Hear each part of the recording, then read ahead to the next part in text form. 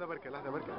المشهد التونسي معك آه، سي صغير أه تنجم تتفضل. كان تعطينا كلمة أنت آه، شنو سبب تواجدك لهنا أمام مقر مجلس التاسيسي وشنو رأيك في اللي آه، في اللي صاير؟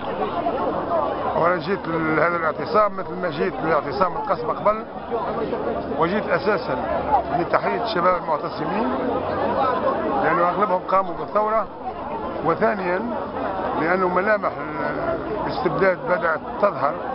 جليا في مداولات المجلس التأسيسي فجئت لدعم هذا الاعتصام ونظرا لخبرتي بالخطاب السلفي عموما اللي هو يتعدى عليه أن يكون ديمقراطي لأسباب هيكلية فأنني أدعو الشباب إلى حراسة آه، ثورتهم وإلى دفع المجلس التأسيسي لغايته الأساسية التي انتخب من أجلها وهي إعداد دستور.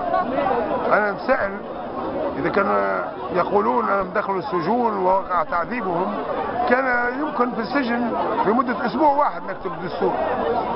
الآن الشعب يطالب بتصريف حياته اليومية البطالة الجهاد الفقر.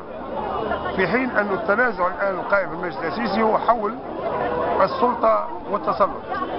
إذا أنا مع الشباب وأدعو إلى أن يتواصل هذا الاعتصام السلمي ولا تخافوا والمستقبل لكم.